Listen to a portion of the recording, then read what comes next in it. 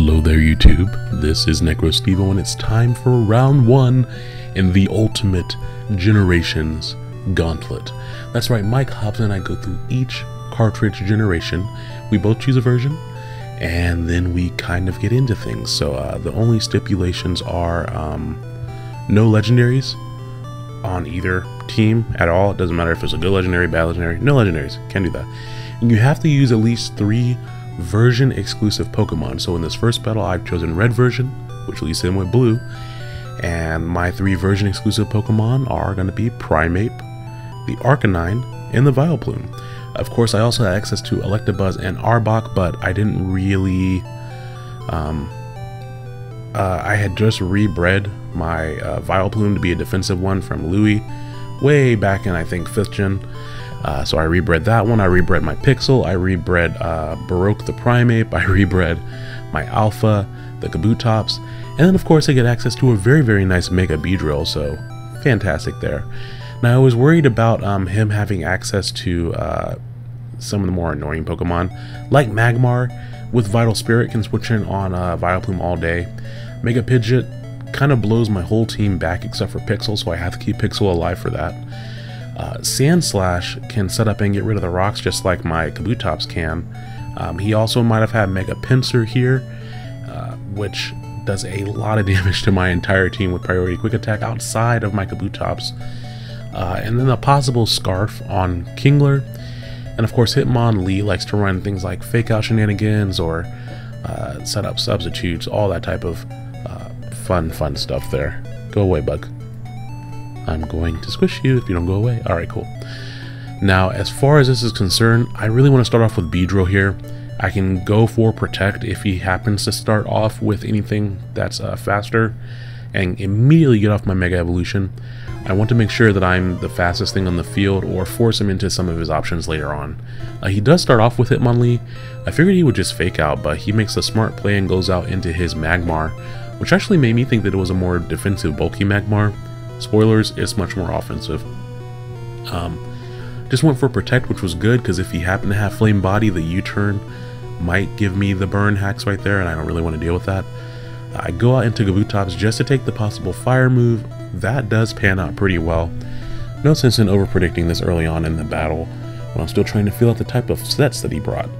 Now, I, did, I am going to use this opportunity to just set up my Stealth Rocks. This is a very defensive Kabutops, which is why you see leftovers here and I do not have uh, Waterfall. I have Aqua Jet, Stone Edge, Rapid Spin, Stealth Rock.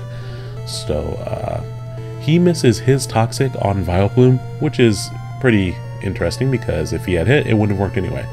So I am going to go for Sleep Powder, expecting him to either stay in and spin or switch out. Fortunately me, for me, he goes out into Pidgeot, which is nice because that does turn out to be his Mega Pokemon. And it has to take a mandatory turn of sleep here, so that means I can get off a Sludge Bomb and do some very nice damage to it. Uh, now that it has no guard, I don't have to worry about missing my perfect accuracy uh, sludge bomb, so all worked out very, very well there. Um, I go out into my pixel here just because the special bulk can take anything from Pidgeot very, very nicely. Uh, and I do just go straight for Ice Beam to hopefully finish off the Pidgeot, but Hitmonlee actually has pretty decent special defense, so that doesn't do very much to Hitmonlee. Uh, I do have a nice physically defensive Arcanine with Rocky Helmet to bring in against the Hitmonlee. Barring a potential Stone Edge, I could take any hit pretty well from it. He does knock off my Rocky Helmet, which is unfortunate. Uh, I would have liked to get a little bit more use out of that. Basically, I got to bring my brand new hat in the battle and it immediately got knocked off. Not cool. But Flare Blitz is a good middle ground play here. I was considering going for Will-O-Wisp, but I didn't want him to go into Magmar. I at least wanted to get some damage on Magmar. Uh, but he goes into Kingler, which is pretty ballsy. Um, Kingler's nice defense allows him to take that hit very nicely. And uh, Kuki Kuki ends up withdrawing as I go out into Vileplume, not taking very much at all from the Crabhammer. Uh, just going to keep on going for Sludge Bomb. I could have gone for Giga Drain, uh, but Sludge Bomb gets such nice neutral coverage against this whole team. We kind of have to make use of that. Um, Magmar comes in and gets poisoned by Sludge Bomb, which is not something I feel like I see very often. I don't feel like the poison actually happens from Sludge Bomb as often as I see Scald Burns. But wow, that Flamethrower does a lot of damage for me resisting it and having a large HP investment. He's going to go down to Poison. I don't think that matters very much because I do have Extreme Speed on this Arcanine, I could have Extreme sped it. I could have uh, prioritized it. There we go. That's the right way to say that. As I go into my Porygon here, he goes for Crabhammer and misses. That actually probably mattered a good bit because uh, especially if he's me, he had a chance to 2-hit KO because I'm all especially defensive invested. Especially defensively invested. Something like that. I don't know, guys. Bear with me here. Uh, he makes a good play going out in the Sandslash on my discharge there. Ice Beam wouldn't do very much to Porygon, I mean to the Kingler. And I am just going to go for a Toxic here to see what he does. I wasn't sure what to expect from him. Uh, he goes for, once again, Toxic as I bring out my Vileplume. And that stuffs that pretty hard there. Uh, Sandslash does get interesting coverage options like Super Fang. Uh, it can boost his attack with Swords Dance, and it can also use a pretty powerful stab Earthquake there, but we haven't seen any of those options from his Sandslash thus far.